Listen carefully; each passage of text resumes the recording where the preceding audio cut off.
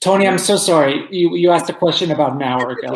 I just actually I just wanted to I was wondering when was the moment because it is such a personal story that you told. I mean, when was the moment that you said I have to share this?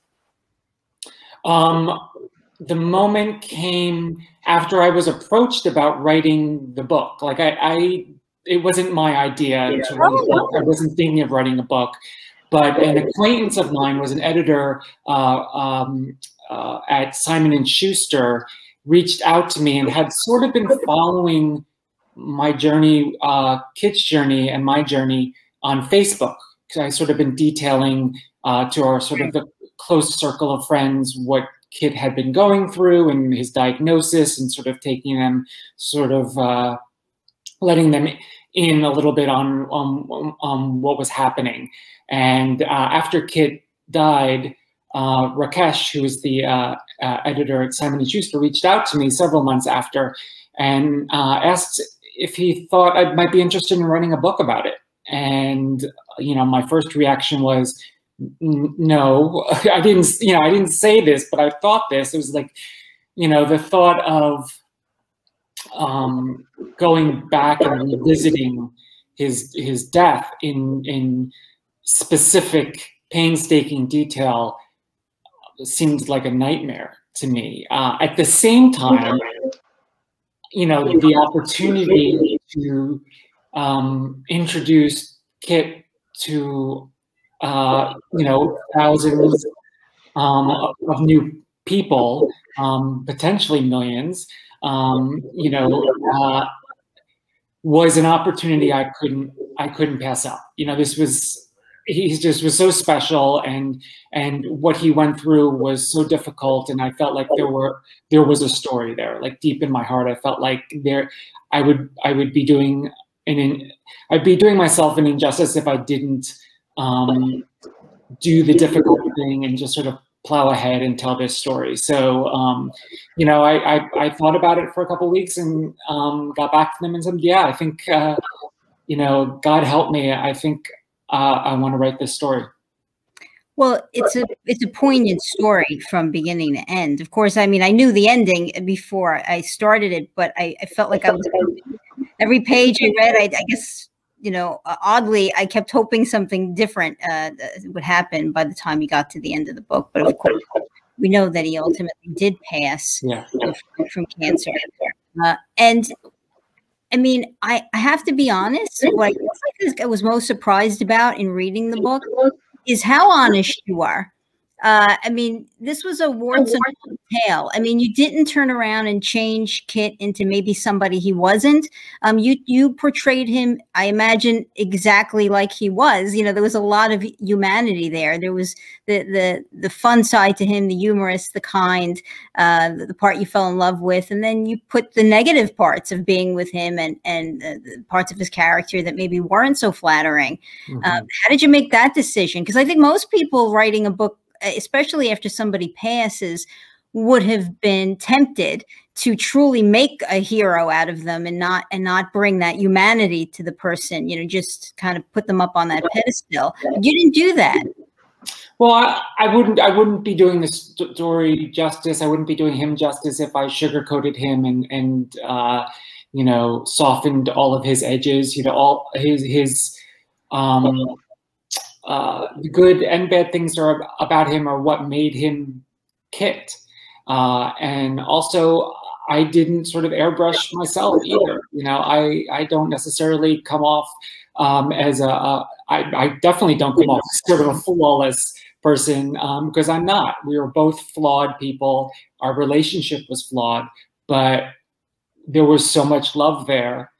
Um, and uh, that you know that it's really basically as cheesy as it sounds it's like a, it's a love conquers all kind of story you know and we were opposites. And there was just you know i i i know as someone who watches uh, television a lot and and um, and the movies that i love and the books that i i remember are the ones that tell the story of flawed characters people who aren't perfect because none of us are. Uh, and uh, you know i you know, I, I felt like I would be diminishing Kit and and the, the, story itself if I were to sort of just go in and shoot everything. Would he have liked it? Would he like the book? Oh, that's tough. I don't I don't like to speak for for him.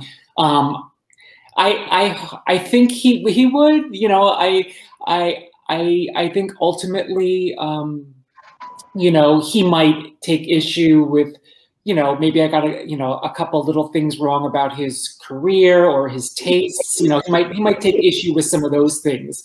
Um, but for the for uh, the most part, you know, I I hope I think he I think he would like it. I think he would be amused by it. I think he would be moved by it. Um, and uh, but but again, you know, who, you know, I I don't know. And that's one of the that's one of the scary things. He's not here. He wasn't here for me to consult or to bounce ideas off of. And there were certainly periods, there still are, where I struggle with did I reveal too much?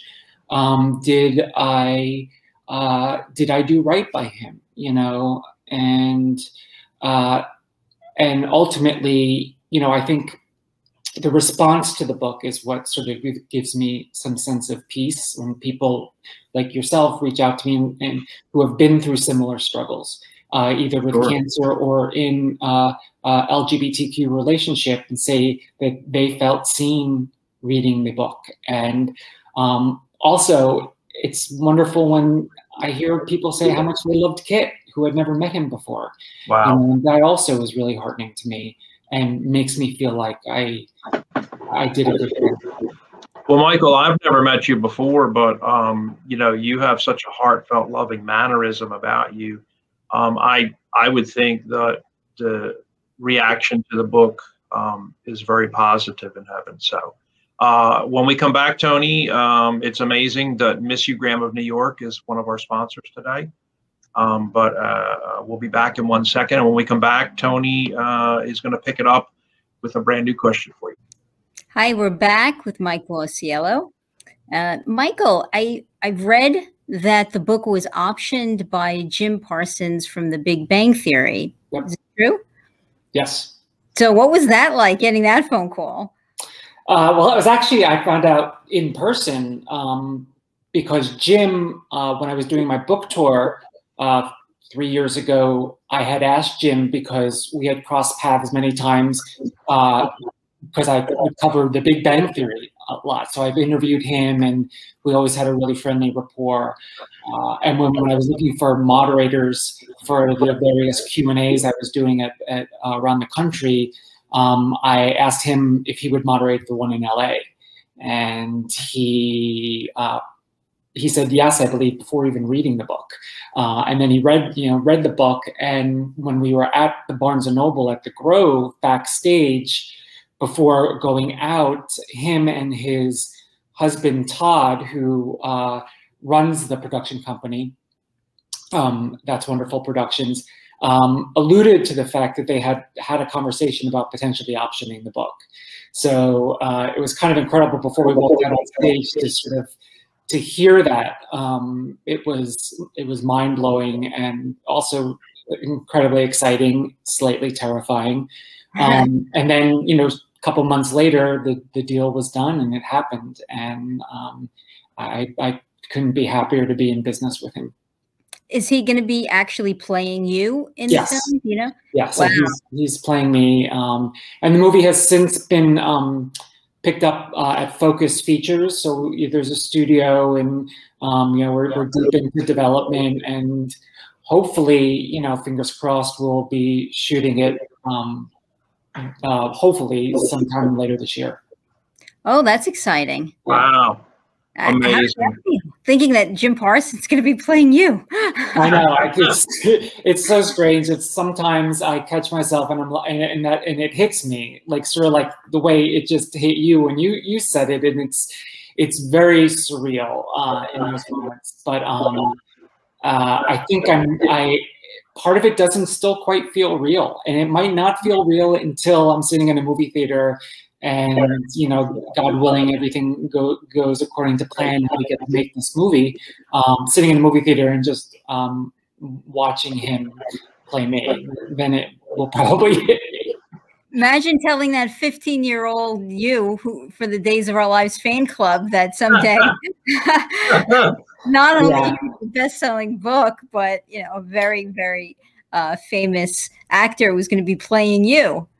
I know. And, and it's incredible. You know, I grew up in a small town in Roselle Park. I, you know, I, I, talk a little bit in the book about how I was, you know, an overweight kid, obviously a closeted kid, and um, uh, it it feels that it's been quite a journey from that that uh, what I call Fat Mike, which is how I refer to him lovingly, um, to uh, where I am now. Um, and but it's also bittersweet because you know the book, the movie, all of it came from a tragedy, and wow. um, and I so all of it is tinged with a, a bit of sadness, um, and uh, you know uh, that that's something that I struggle with too. You know, um, but that's real.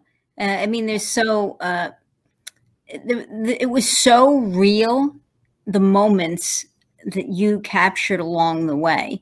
Uh, I thought both from Kit's experience uh, with going through everything and also from the spouse's perspective or from the family member's perspective of watching it and you perceived everything very differently right mm-hmm. the person you know going through those stages of of maybe you know anger and denial and uh you know hoping and you know and hope and then kind of resigned himself and I hate to say saying goodbye, but starting to know that uh, the the end was near. And I think there's that one experience, and then there's the family members' experience, uh, which is very different. And I mm-hmm. thought you you really captured both. Eh, sometimes you read a book and there's you know, there's one chapter that's about somebody, and the next chapter is about somebody else, and uh, you know, eh, but that's all fiction uh, like you literally captured both points of view so eloquently. Oh, thank you. Mm-hmm. And I thought it, it's it just it spoke to me uh, because some of those moments, even with how he felt in those moments, I, I really felt connected. Uh, yeah. Which why I reached out and I said, you know, thank you. I mean, your your book actually made a difference. It, it mattered. I was like, I finished at like three o'clock in the morning, and I'm like, and I know, I'm like crying. oh, well, I that that it means a lot. Um, it means a lot to hear that. So thank you. It was a very tough time for Tony. Uh, she's a very, very powerful and successful attorney known across the tri-state region. I was sending her baskets of fruit um, Michael, kiwis, all types of stuff. Um, yeah, was a very, very difficult time for anybody. How are you doing, Tony? With uh, I, I'm in remission. I, I feel so blessed. You know, I ch- used it uh, as an experience to change my life, uh, mm-hmm. to try to cut down on stress. I changed how I eat and how I live um, I'm on like a whole, uh, you know, whole food plant based diet, and I exercise, and I have stress techniques that I incorporate into my life. So I, I really mm-hmm. tried to use it to change uh, everything about myself because I was leading uh, 80 hour work week, uh, overly stressed lifestyle, and I didn't care how I ate, and it really does matter. Mm. Well, I'm glad to hear you're doing well. Thank you. Uh, you're a vegetarian, right? Or I'm a pescatarian. So I eat, sea, I eat seafood. Yeah. Um, I but yeah, I'm, I'm for no chicken, no meat, no right. pork. Right. Favorite fish right now, or favorite fish this month? Um, I I've always been partial to swordfish, but okay. the high mercury count in it has sort yeah. of me off of it late. You know, um, yeah. I, there's such an awareness to it, and I think maybe I was in denial about it for a while. Um, I also like shrimp. I'm a big shrimp fan. Yes, yes, yeah. We took our daughter uh, all the way over to the coast, and I was so proud of her, Michael. Um, we brought her into, you know, we were watching the boats because we we rented a place for like two weeks on the beach, and and one night they come out there and they they stayed all night long, and you could see their lights were on and stuff, and then they went away like two days later. So we took her down to the local fish market um, off the North Carolina coast, and we were showing her all the kinds of fish and trigger fish, and and of course it was they had a little bit of this because when you bring in the net, it's oh we got five trigger fish in there, and you know different fish. And but I did make her go into the shrimp basket, and I was really adamant of the fact I wanted her at, at of course nine years old at the time, but to go in there and get the shrimp with the heads and and the tentacles and everything. We went back home and we made her clean them and everything to see you know the real truth of nature and mm. and she wasn't a baby about it at all uh, another shrimp lover she was not a little priss so mm. um, i just was super proud of her for doing that yeah so as you uh, you mentioned michael that you grew up in new jersey roselle park new jersey yeah. Uh, and if i read somewhere and i don't know if it's accurate or not but that you're developing a show about your experience is that accurate uh, yes uh, i i um uh, someone, uh, Ben Stephenson is an executive at Robot, which is J.J. Abrams' production company, who had read my book and uh, loved the book and called me in for a meeting, and we were discussing, uh, just talking about my uh, my life, and he was particularly interested in my childhood. Um, which I touch on in the book about being a soap opera fanatic growing up, and you know, one thing led to another, and we decided to try to turn it into a television show um, about uh, about a kid um, in a small town, New Jersey, who uh, sort of fantasizes about um, an alternate universe, soap opera alternate universe. Because when I was a kid, I used to write my own soap opera. In addition to watching them, I wrote my own, uh, and I still have all 300 some odd scripts uh, in my uh, my my my late mother's uh, um, storage trunk here, uh, and I saved all of that, and um, uh, and so we're just sort sort of figuring out how how can we make that a TV show, uh, and that's not something I've ever seen before. I've never saw I've never seen sort of the Wonder Years sort of told from a gay perspective, and sure. also with this uh, added soap opera fantasy element. I love that. You know, we have that we were we can bond over this. When I was young, I used to have my Barbie dolls and I literally used to write a soap opera for them. So they would have their real lives and then I would, you know, drive them over to the studio and they would act out the soap operas that I created and then drive home to their regular lives. So we're That's kind of amazing. That. Well, what's interesting is it's such a relatable thing for kids growing up pre-internet and pre-gaming right. when we had to create our own entertainment um, and also for for for uh, i find in the lgbtq community that there were not a lot of options for us or the options that were presented to us in terms of entertainment we didn't like um, like i wanted to play with barbies uh, that I, I, wanted desperately to play with Barbies. I would sneak across the street to my uh, friend Linda Sweeto's house and play with them and then rush home. And I obviously wouldn't tell my dad. But um, I had to make compromises and sacrifices and find my own entertainment uh, and amusement. And one of those things was telling the story, which was called Beverly Hills. But I find in talking to a lot of my gay friends um, that uh, they also did the same thing. They all had this sort of this storytelling vibe. And part of it, I think, is because you want to escape. You want to escape from your environment, your current situation, um, and uh, and what better way to do it than in a world that you create uh, your, yourself. Mm-hmm. You have the heart of a writer, that's for sure.